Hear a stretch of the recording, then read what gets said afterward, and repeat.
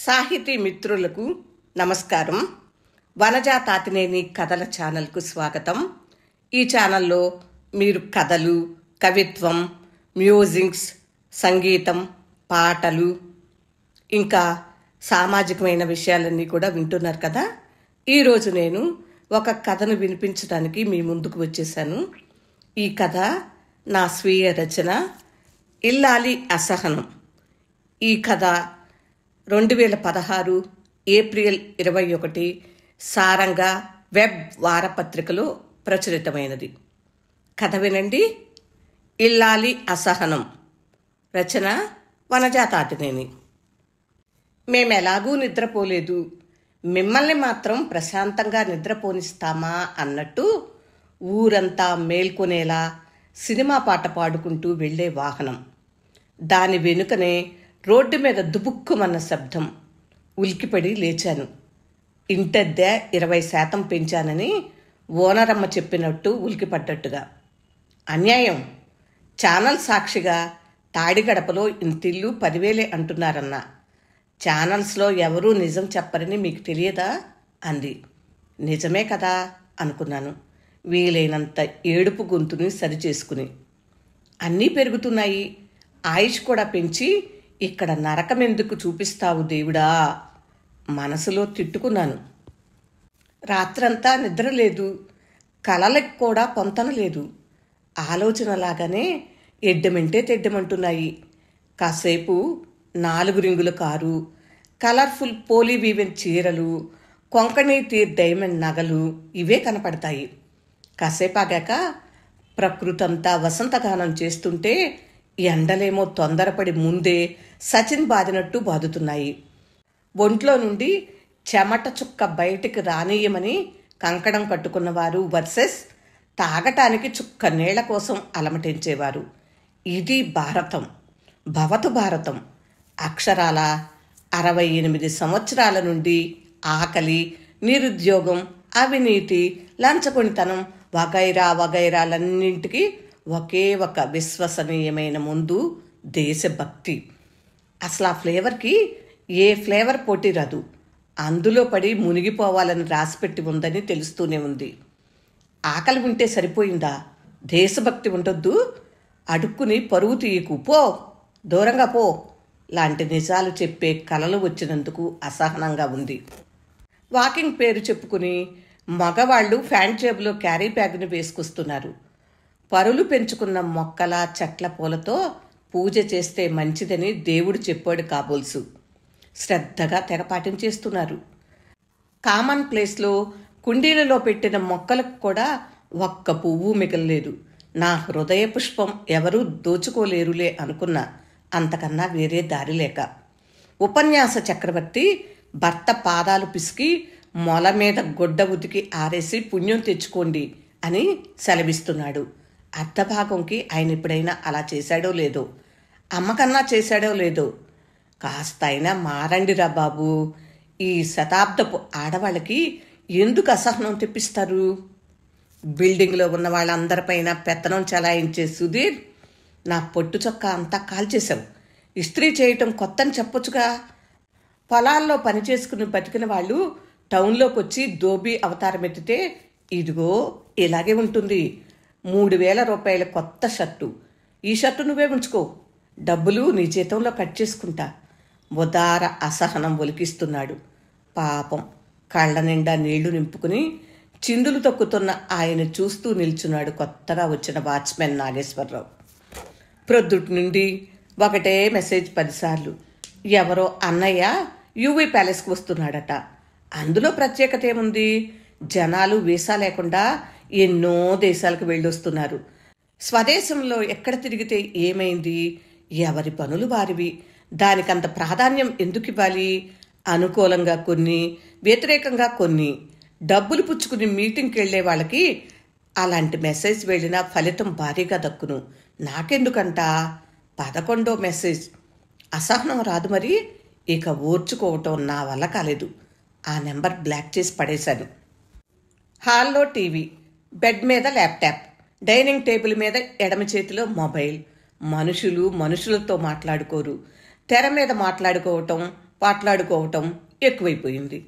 తెరల మీద చూసి చూసి ఈ మధ్య మా ఇంట్లో కూడా శాంతి సామరస్యం అస్సలు కుదిరి చావటం లేదు.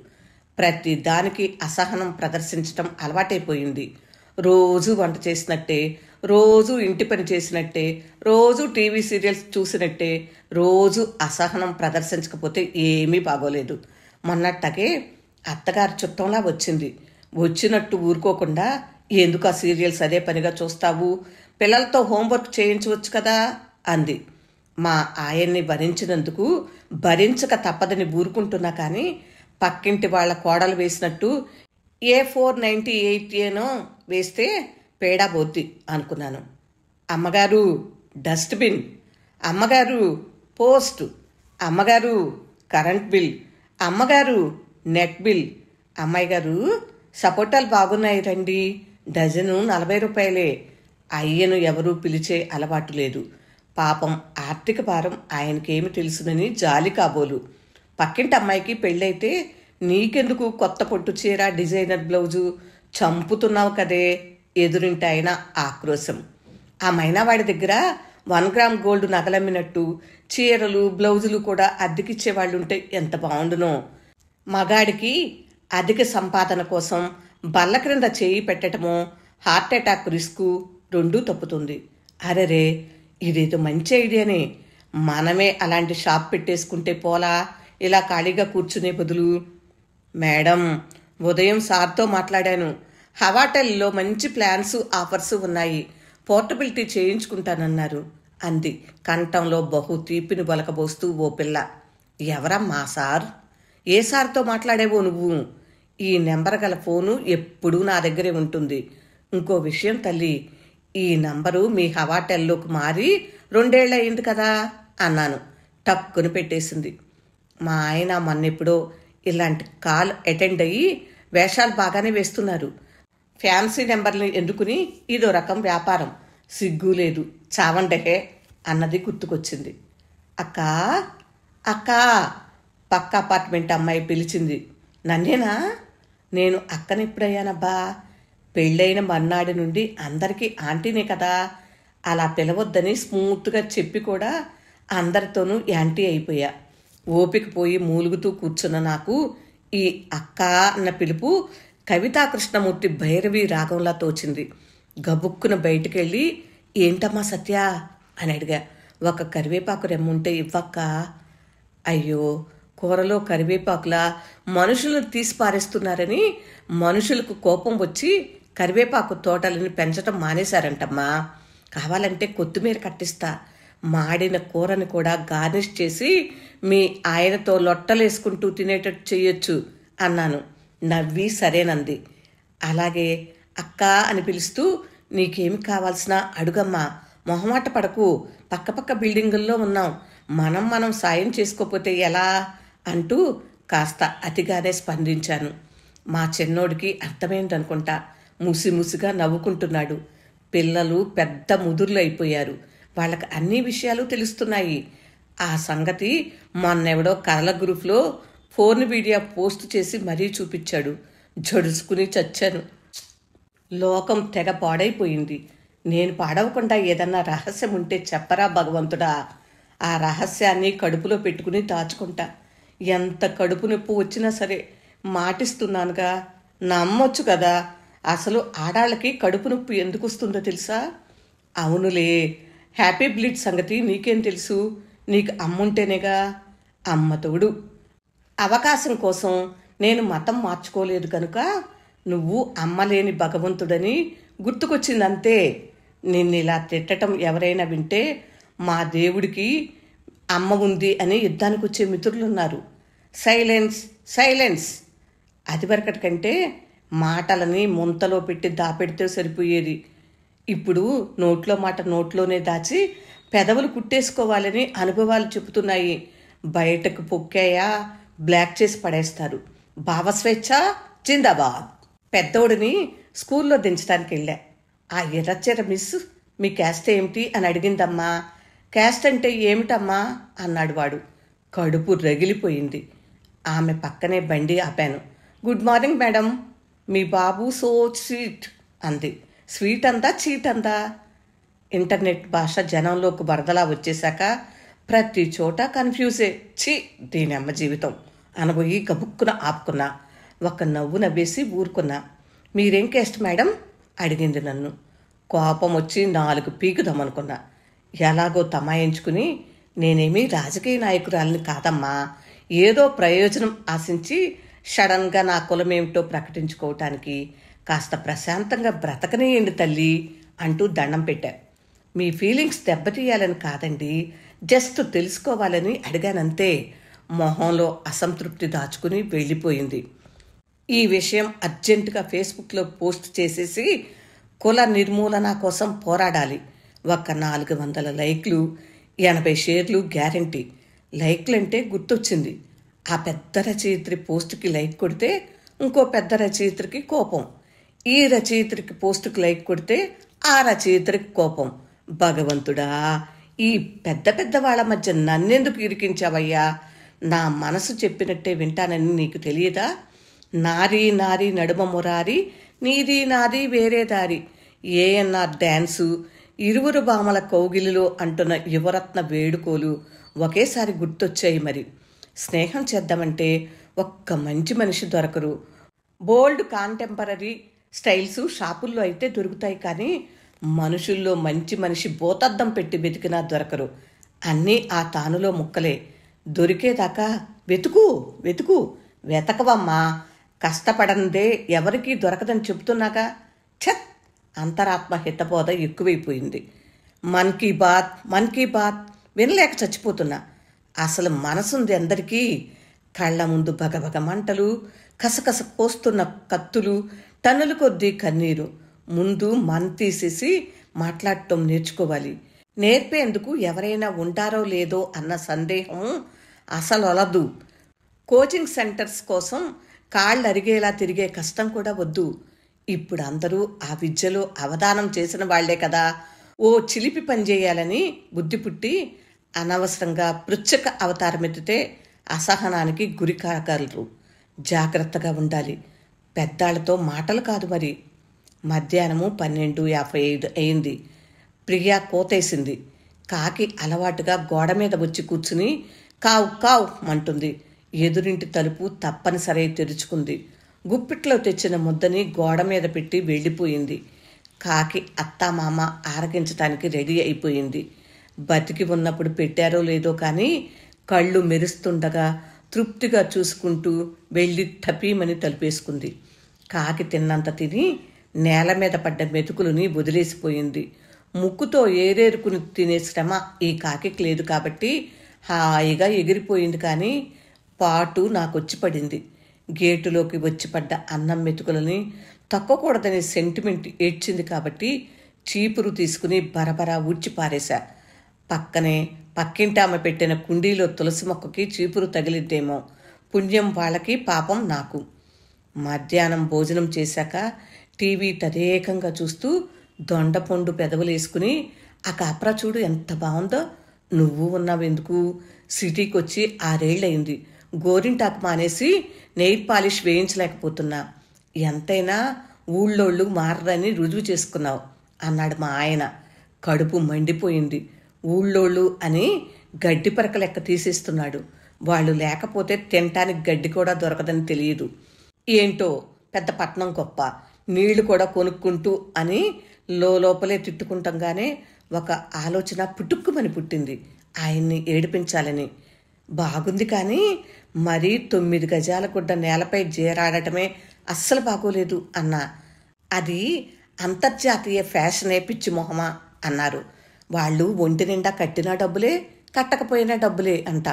నాకు కూడా అలాంటి అంతర్జాతీయ ఉద్యోగం ఏదన్నా దొరికితే బాగుండును అన్నాను అమాయకంగా. రిమోట్ విసిరి పడేసి బెడ్రూమ్లోకి వెళ్ళి పడుకున్నాడు పిచ్చిన మొగుడు. సినిమా వాళ్ళతో పెళ్ళాన్ని పోల్చడం మొగుడికి తెలిసినట్టు పెళ్ళానికి తెలియదనే అజ్ఞానమైతే ఎట్టగబ్బా మరి? ఇలా రాసేశాక చాలా మందిని టార్గెట్ చేసినట్టు రాసావేమో బంగారు అంది నా అంతరాత్మ. బాబోయ్ నేనేమన్నా నల్లకళ్ళద్దాల వృద్ధనారి రచయితన ఏమిటి? ఇప్పటిదాకా జనాల్లో ఉన్న గౌరవం పోగొట్టుకోవటానికి ఒక్క అక్షరం ఎగరగొట్టేసిన పేరుతో కథ రాసేసి విషం కక్కినట్టు ఇంకు కక్కటానికి రాసే ప్రతిదీ నిజమని ఏ పాటక వెధవాయి నమ్మడం తెలిసినట్టు లేదు. అంత వయసు వచ్చాక కాస్త ఇంగితం ఉండాలి తల్లోయ్. అభిమానిస్తున్నారు కదా అని చెవుల్లో ఇంగ్లీష్ క్యాలీఫ్లవర్ పువ్వెట్టకు మాట చెప్పులో రాయి గుచ్చుకున్నట్టు ఫీల్ అవుతారు కొందరు అని చెప్పాలనుకుంటున్నా. అయినా నా మాట వినటానికి ఆమెకి తీరిక ఉందో లేదో చెవులు సరిగ్గా పనిచేస్తున్నాయో లేదో టీపై మీద పెట్టిన మా ఆయన ఫోన్కి ఏదో మెసేజ్ కోత. యథాలాపంగా చూశా. బిఎఫ్ జిఎఫ్ కావాలా? కాంటాక్ట్ నెంబరు పది అంకెలు. ఇన్బాక్స్లో బోలెడు ప్రేమ ఋతువుల పైత్యాలు పచ్చిగా వార్మప్ చేసేవిగా ఉన్నాయి. ఇలాంటి వాటితో కాపురాలు కూలిపోమ్మంటే కూలిపోవు. అసహనం హద్దులు దాటింది. మా ఆయన ఫోను బాల్కనీ గోడకెళ్ళి టప్పును కొట్టుకుంది. టీవీ మొబైల్ ఇంటర్నెట్ ఇవన్నీ లేనప్పుడు అమ్మల కాలం ఇప్పటికన్నా కొద్దిగా బాగుండేదేమో. అప్పుడు ఇన్ని విచ్చల విడితనాలు లేవు. అయినా ఈ మాత్రం దానికే అంత అభద్రతా భావం ఎందుకో అంతరాత్మ మళ్ళీ ఎదురుగా నిలబడి చెప్పింది. ఎందుకంటే పెంపుడు కుక్కను నమ్మినట్టు కొట్టంలో పశువును నమ్మినట్టు మొగుడిని నమ్మటానికి వీలు లేదే పిచ్చిదానా అని. పోదు ఎల్లకాలం మోసం చేయాలనుకున్న వాడికి ఎప్పుడైనా బై బై చెప్పే టెంపర్తనం కూడా ఉందిలే నాలో అని సముదాయించుకున్నా. కోపం తగ్గాక మొబైల్ ముక్కలేరి చెత్త కుప్పలో పోద్దామని బయటకొచ్చా. పుస్తకాలు ముందేసుకుని కూడబలుక్కుని చదువుకుంటున్న లక్ష్మిని చూసి ముచ్చటేసింది. పగలల్లా పదేళ్ళలో పాచి పని అంట్ల పని చేసుకుని ఇల్లు సర్దుకుని పుస్తకాలు ముందేసుకుని కూర్చోవటం చదువుకోవటం. అలా ఉండటం అస్సలు నచ్చలేదట లక్ష్మి మొగుడికి. ఆమె పుస్తకాలని చించి పోగులు పెడుతుంటే లక్ష్మి రాక్షసిలా మొగుడి మీద తిరగబడింది. నీ అబ్బా నీకేంటిరా నచ్చాల్సింది? నా చదువు నా ఇట్టం. నోరు మూసుకుని ఇంట్లో ఉంటే ఉండు దొబ్బితే దొబ్బు అంది. నోరు తెరుచుకుని ఆశ్చర్యంగా చూస్తూ లక్స్ నా సౌందర్య రహస్యం.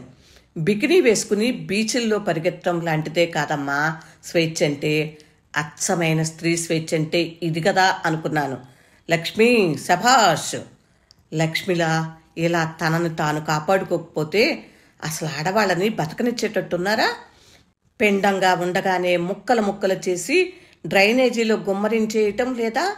బావి వరస వయసు చూడకుండా అత్యాచారం చేయటం. అయితే అటు కాకపోతే ఇటు.